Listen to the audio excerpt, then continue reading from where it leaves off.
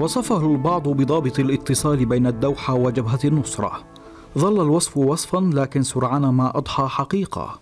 صحفيان فرنسيان ينشران كتابا أسمياه أوراق قطر كشفاه فيه بالأدلة والوثائق الدور الذي لعبه محمد نذير الحكيم في الملف السوري بالاستفادة من الدعم المالي الذي قدمته له مؤسسة قطر الخيرية منذ عام 2007 الدعم الهائل كان يصل للحكيم من خلال جمعية يديرها في مدينة ليون الفرنسية وتسمى جمعية الكندي واستمر حتى بداية الثورة السورية وما بعدها.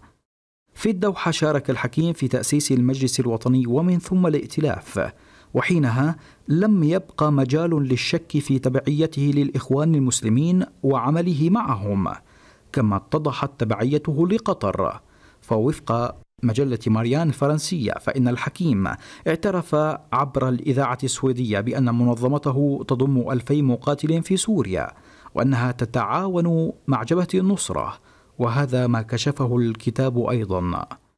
مؤلفا كتاب أوراق قطر الفرنسيان مال برونو وشاسنو أكدا أن الحكيم كان ينقل السلاح من ليبيا والبوسنة إلى جبهة النصرة في سوريا عبر هيئة تسمى لجنة حماية المدنيين.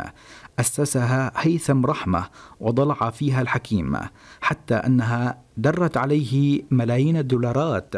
وفي تحليل لصحف سويدية حول الموضوع شبه الحكيم بالعقرب السام وسط انتقادات للمخابرات السويدية والفرنسية لعدم القبض عليه. كتاب أوراق قطر فسر التعاون بين الدوحة والحكيم بالتقارب الأيديولوجي بين جماعة الإخوان المسلمين وقطر ووجود تماه في الرؤية المشتركة للإسلام السياسي.